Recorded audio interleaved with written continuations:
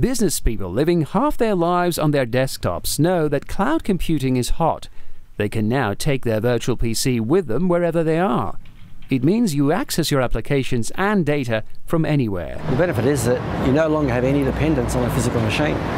Um, you can actually add new applications to your virtual desktop with really just one click and it collapses all the barriers that you normally have to downloading, installing, costs and any dependence on your local machine. There's, there's no dependence. Imagine your offices in Brussels and New York connected on one virtual network. No complex network infrastructure is needed in any of your offices. You access your virtual PC in the cloud, even on a very light device. Yeah, yeah, I'm working on it right now. It's an enormous amount of power that you've got um, at the click of a button.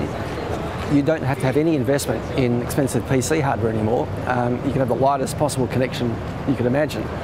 Uh, and you have the, the, the power of a supercomputer. GoPC is ready for a new generation of business networks. You can't ignore it. It's just, and it works. I mean, this is mature technology. It's something that people haven't heard about a lot, but is increasingly becoming aware of now. Yeah, we've been doing this for 15 years.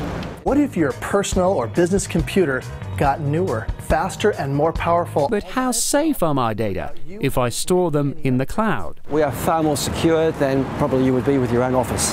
Um, the the building we're housed in behind us here has got uh, you know, diesel generators, on-site security guards 24 by 7. It's locked down totally. Cloud computing makes your IT cheaper, safer and more accessible. It might be the next revolution in the way we organize our companies. A business can reduce its IT costs to an absolute fraction of what it's currently doing and provision a large network really within hours instead of months.